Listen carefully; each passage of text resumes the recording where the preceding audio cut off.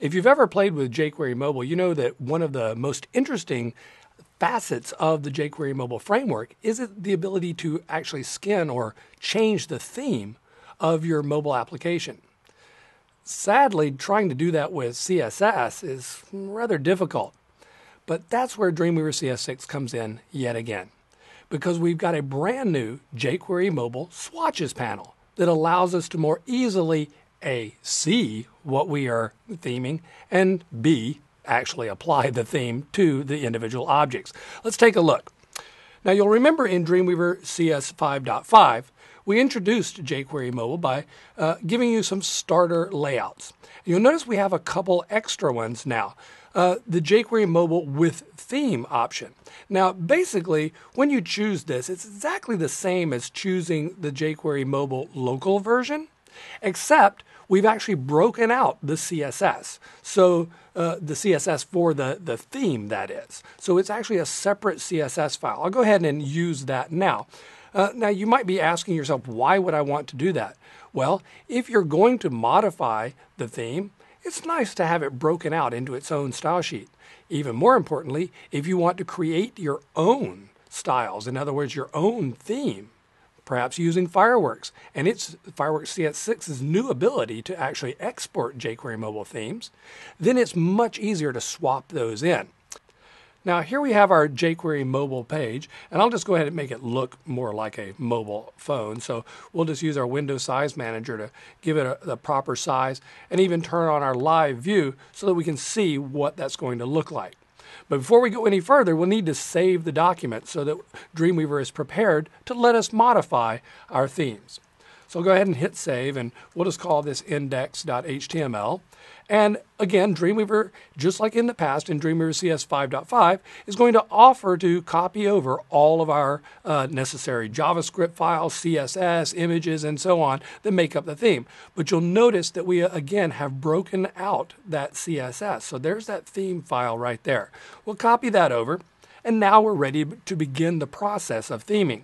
Now, again, in the past, I would go into split view in order to do this and perhaps scroll down in my page to find the element, maybe just the page itself that I wanted to theme. Then I would begin typing. I would say something like data dash theme and then be presented with a list of available themes. Um, now, jQuery Mobile comes with several themes uh, already built in, as I said. So let's just choose B. I'll go ahead and choose that, but then I need again go back over to my page, refresh that to see what I've actually got. Now, I didn't know that was going to turn blue because I, unless you're very, very familiar with the individual themes, you don't know what they look like. And that's the problem.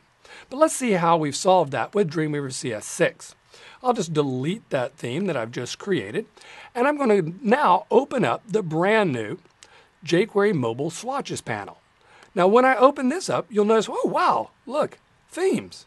It says that we haven't applied any themes yet. And so it's giving me the option of not only applying them, but seeing the individual themes themselves.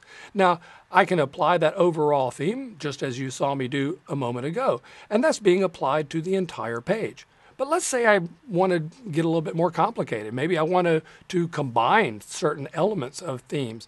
As I begin to click around, you'll notice that the panel once again changes. It says, oh, you want to change a theme for the header, or perhaps as I click into the footer, the theme for the footer. So I can actually mix and match the individual pieces themselves.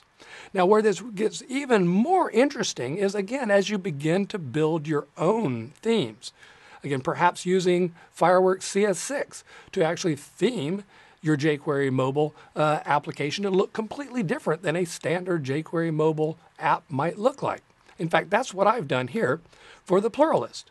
You'll notice this doesn't look like your typical jQuery mobile uh, application or theme at all. Because again, I've gone in in Fireworks CS6 and created my own complete theme. In fact, I even threw away all the themes that I wasn't using and now have three options.